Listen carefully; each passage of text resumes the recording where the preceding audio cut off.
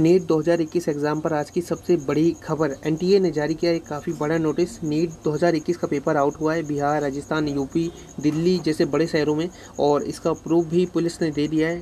गिरफ्तारी होती ही जा रही है। लगातार मामले खुलते ही जा रहे कहाँ का पेपर आउट हुआ? और छात्रों का भी यहाँ पे कमेंट आना स्टार्ट हो चुका है। नीट का एग्ज़ाम दोबारा होना चाहिए। वहीं एनटीए का भी काफ़ी बड़ा अपडेट आ रहा है। चलिए वीडियो को स्टार्ट करते बताते हैं आपको पूरी अपडेट और आगे बढ़ने से पहले आप लोग चैनल पर नए तो, तो चैनल को ज़रूर सब्सक्राइब करें सभी लोग।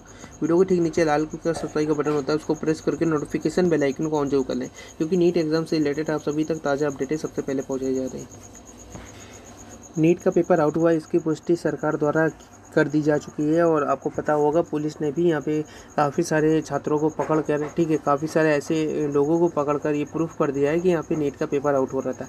अब एक नया जो है ग्रुप भी खुल गया है जो पाँच लाख में पेपर को सॉल्व करा रहा था और ये पकड़ा गया है, ठीक है? ये भी पकड़ लिया गया है और ये जो है पकड़ त्रिपुरा से यहाँ पे आप लोग देख सकते हैं, एक कोई फ्रेंड था, उसकी बदौलत यहाँ पे आप लोगों का ये जो ग्रुप है पकड़ा गया और ये जो ग्रुप था, ये आपका पटना, वाराणसी और लखनऊ में फैला हुआ था, यानी कि यूपी बिहार, राजस्थान और दिल्ली जैसे, जैसा कि हमने कहा पहले भी, ठीक है? तो यहाँ पे काफ़ी सारे छात्रों को यहाँ पे ये सभी गैंग्स जो हैं एक्टिवेट थे और काफ़ी सारे छात्रों को अब दिक्कत हो रही क्योंकि अब जिनका भी पेपर पहले ही पता होगा, वो तो अच्छे अच्छी रैंक ले आएँगे। तो ऐसे में छात्र रिकंडक्ट एग्ज़ाम की मांग कर रहे हैं। नीट का एग्ज़ाम रिकंडक्ट हो। आप लोग भी कमेंट सेक्शन में लिखें रिकंडक्ट होना चाहिए कि नहीं होना चाहिए।